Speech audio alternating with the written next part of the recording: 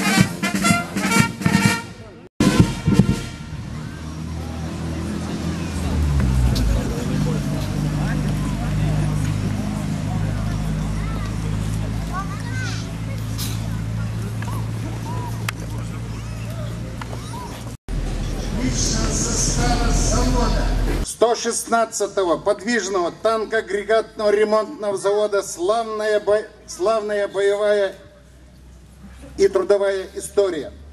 Коллектив заводу с гордостью смотрит в будущее. Каждому отрезку времени истории завода сопутствовали свои трудности, сопутствовали свои успехи.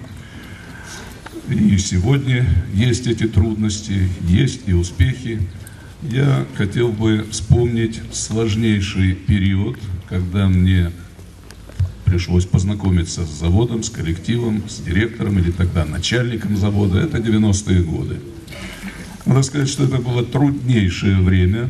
В Министерстве обороны было более 100 заводов, в том числе и вот наш бронетанковый завод. Э, Развалилась старая система, не была сформирована новая система, новые условия, высокие технологии сохранены. Э, Начальник завода не выживал, а он сумел диверсифицировать производство. Образовалось э, производство по переработке камня, там какие-то паковки, сельское хозяйство, норки, там я уж не помню, пчелы и так далее. Во всяком, ну вы лучше знаете, потому что вы участники этого, но это э, был способ, как сохранить завод, сохранить коллектив и что, собственно, и произошло. И вот с тех пор как-то мне полюбился и завод, коллектив, и директор тоже, хоть и не хочется его как бы перехваливать. Вот, и потому на каждые ваши события, торжества с удовольствием приезжаем. Событие осуществлено.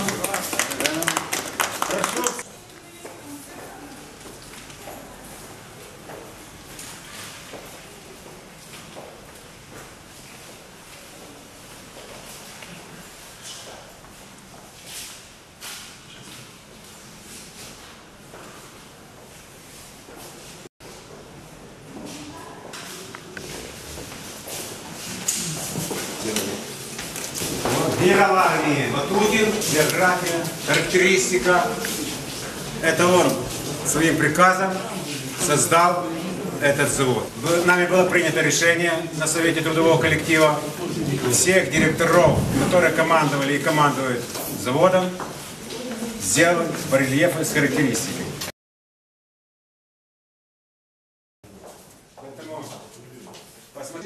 Закончил две академии. Меня на 160 директоров все время назначались личности, которые имели практический опыт, имели теоретические знания и могли вести за собой не только людей, но выполнять стоявшие задачи. Один из Уважаемые золотчане, уважаемые гости,